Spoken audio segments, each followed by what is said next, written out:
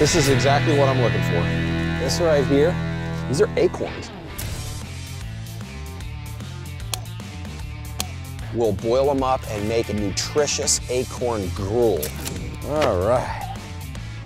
Oh yeah. And that looks like cow.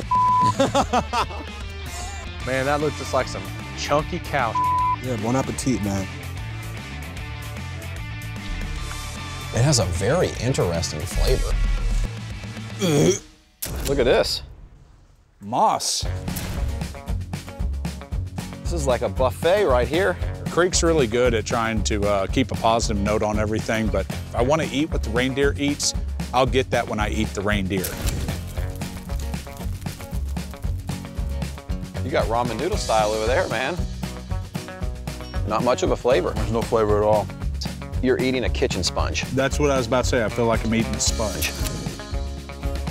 Guys, I can't even describe to you the huge score I just found. Creek got really excited and called us over. And what I saw was him pulling what looked like a human toe out of the ground.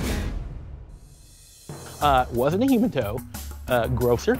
This right here is a true delicacy. Yeah, I'm not eating this. Whoa. There's slightly more blood in there than I thought there would be. It's a large, giant cannoli filled with uh, bug guts.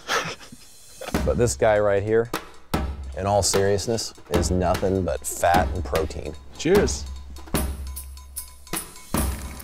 Well, It tastes like a pork rind. oh, nuh-uh.